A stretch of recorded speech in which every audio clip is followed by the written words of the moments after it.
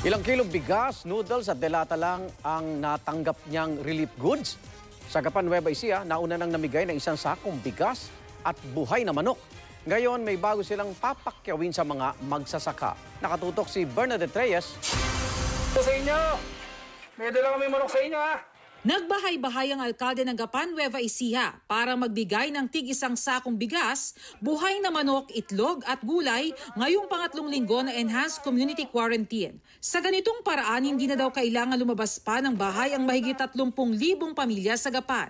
Mayaman o mahirap, walang pinipili. Lahat daw makakatanggap ng pagkain. Ah, Pati nga po yung mga farmers dito, mga magtatanim ng gulay, ang sabi ko sa kanila, sa Huwebes, pag natapos bigyan ng bigas ang lahat ng bahay sa Gapan, lahat naman ng tanim dito na gulay, vegetable, bibiling ko, papakyawin ko at ipamimigay ko po sa mga tao dito sa lungsod ng Gapan.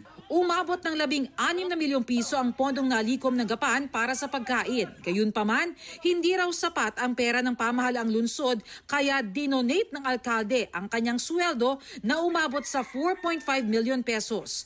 Sa ngayon, may anim na kaso na ng COVID-19 sa Gapan. 837 ang persons under monitoring, habang siyam ang persons under investigation. Umaasa ang alkalde na matutulungan naman sila ng gobyerno para magkaroon ng mga test kits. para po yung lahat ng PUM, eh, masala na namin kung sino yung mga dapat namin ibukod para po hindi na kumalat, hindi na makahawa dito sa mga tao sa lungsod ng Gapan. Bernadette Reyes, nakatutok, 24 oras.